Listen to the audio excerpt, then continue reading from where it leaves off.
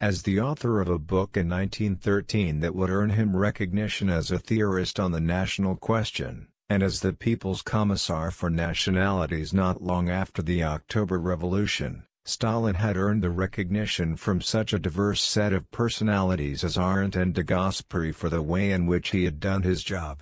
His thoughts on the national question had finally led to an essay on linguistics aimed at demonstrating that, far from disappearing after a determined social class is overthrown, the language of a nation has notable stability, just as a nation using it enjoys notable stability. That essay would also contribute to consolidating Stalin's reputation as a theorist of the national question.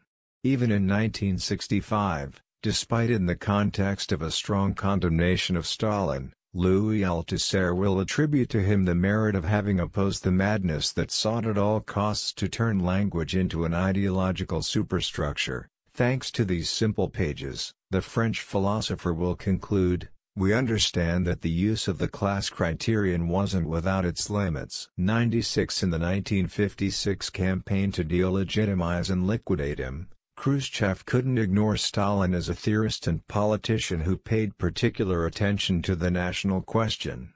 In condemning the mass deportations of entire nationalities, the secret report declares, quote, It's not necessary to be a Marxist-Leninist to understand that any common-sense person would ask how is it possible to make entire nations responsible for hostile acts, without exception for women, children, elderly, communists and members of the Komsomol, reaching the point of enforcing a generalized repression against them, sending them into misery and suffering without any other motive but vengeance for some crime perpetrated by individuals or isolated groups. Unquote 97 The horror of collective punishment and deportation imposed on populations suspected of lacking patriotic loyalty is beyond question. Sadly, far from referencing the madness of a single individual, this practice deeply characterizes the Second Thirty Years' War, starting with Tsarist Russia that, although allied to the liberal West,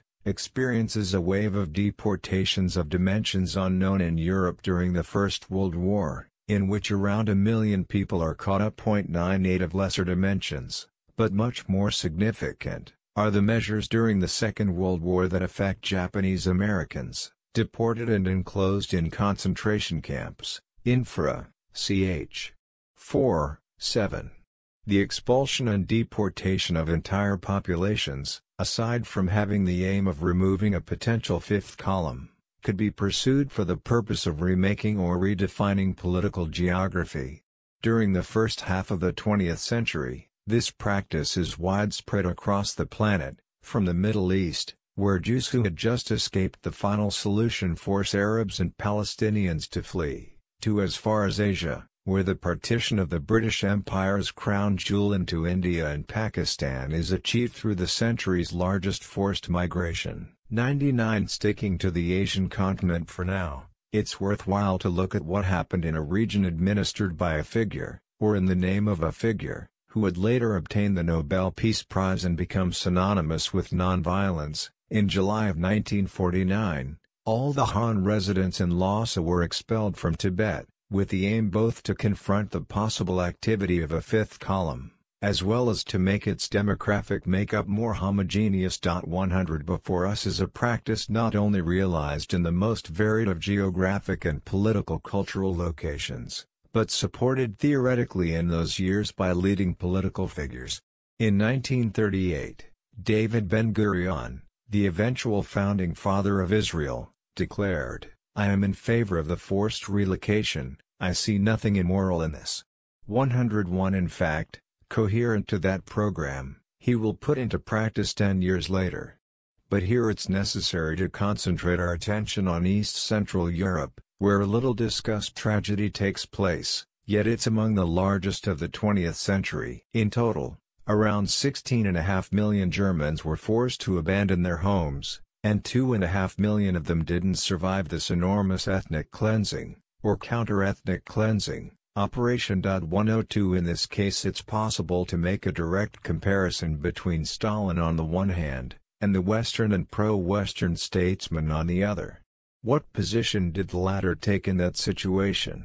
As always, we'll analyze it by beginning with a historiography that can't be suspected of sympathies toward the Soviet Union. Quote Starting in 1942, it was the British government that encouraged the generalized transfer of populations from the Eastern German territories and from the Sudetenland. It was the Deputy Undersecretary who went further than anyone else, in requesting an investigation to determine if Great Britain should encourage the transfer to Siberia of the Germans from East Prussia and Upper Silesia. Unquote 103 Speaking in the House of Commons on December 15, 1944, on the planned transfer of several million Germans, Churchill clarified his thinking as follows, quote From what we are able to understand, expulsion is the most satisfactory and long-lasting solution.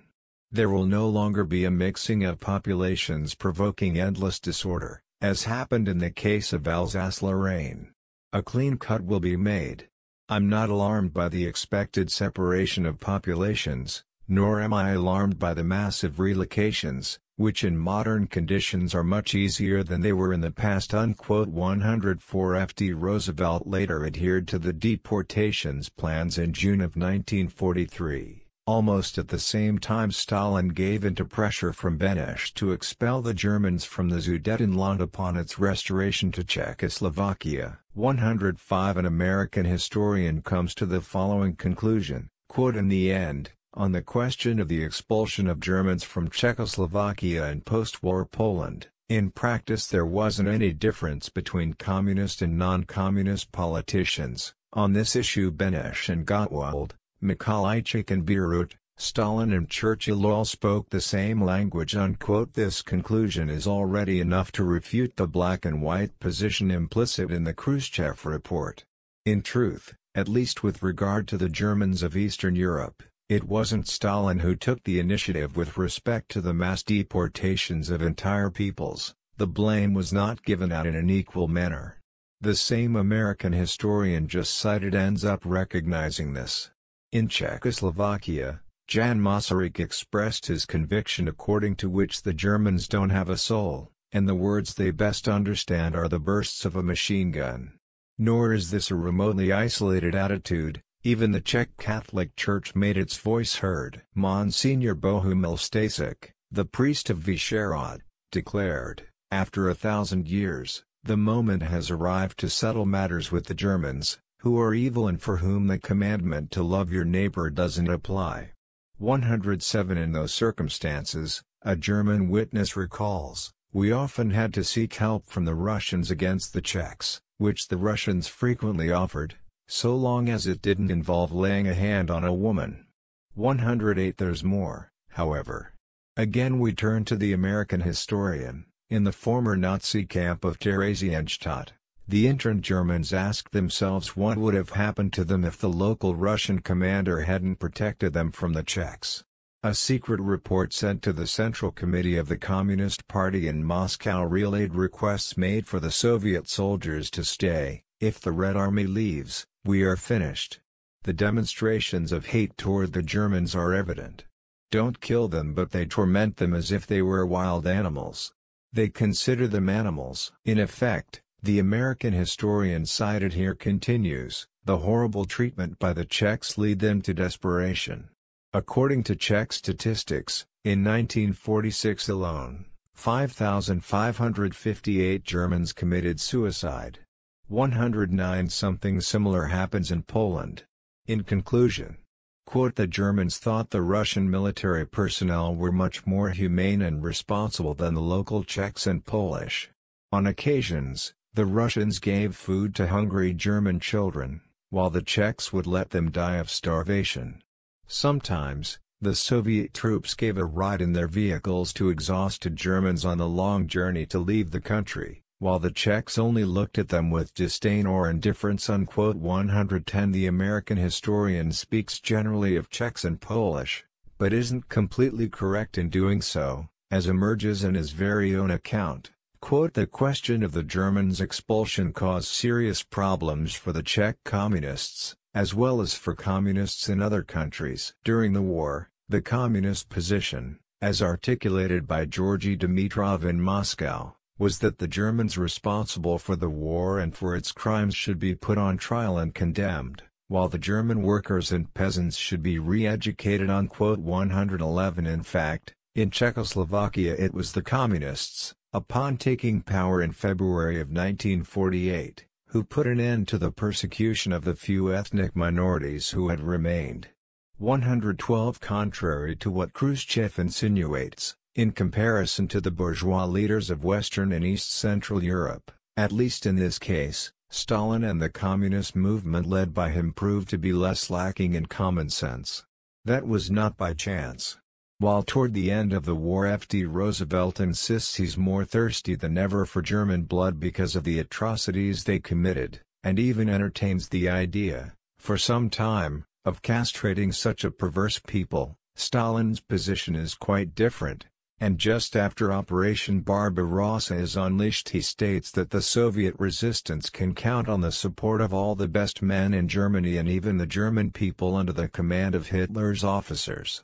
113 The statement made in February of 1942 is particularly solemn, quote It would be ridiculous to see in the Hitlerite clique the German people or the German state. Historical experience proves that Hitlers come and go, but the German people, the German state, remains. The strength of the Red Army resides in the fact that it doesn't nurture, nor could it nurture, any hatred toward other people, and therefore couldn't even nurture hatred for the German people, it is educated in the spirit of the equality of all peoples and all races, in the spirit of respect for the rights of other peoples. Unquote 114 Even an uncompromising anti-communist like Ernst Nolte is forced to recognize that the position taken by the Soviet Union in relation to the German people doesn't carry those racist tones that are sometimes found in the Western powers. 115 To finish this point, if not equally distributed, the lack of common sense was quite widespread among the political leaders of the 20th century. So far I have concentrated on the deportations caused by war or by the risk of war, or by the reorganization and revision of political geography. At least until the 40s, in the United States, the deportations carried out in urban centers are widespread, urban centers that seek to be for whites only, as the posters warn upon entry. Aside from African Americans, Mexicans are also targeted, reclassified as non-whites in the 1930 census, thus thousands of workers and their families, including many Americans of Mexican origin, are deported to Mexico. The expulsion and deportation measures in the cities that seek to be for whites only, or for Caucasians only, don't even spare Jews. 116. The secret report depicts Stalin as a tyrant so lacking a sense of reality that, in taking collective measures against determined ethnic groups, he didn't hesitate in punishing the innocent or even party comrades. What comes to mind is the case of the German exiles who, soon after the war begins with Germany, are collectively confined to French concentration camps, Infra, ch. 4, 7. But it's useless to search for any effort at a comparative analysis in Khrushchev's speech. His goal is to append two themes that until that moment had been widespread not only in official propaganda, but also in journalism and international public opinion, to transform the great leader, who had decisively contributed to the destruction of the Third Reich, into a foolish amateur who has trouble figuring out a world map, that this eminent theorist of the national question is revealed to have lacked the most elementary common sense in that field. The acknowledgments previously given to Stalin are all blamed on a cult of personality that now must be eliminated once and for all.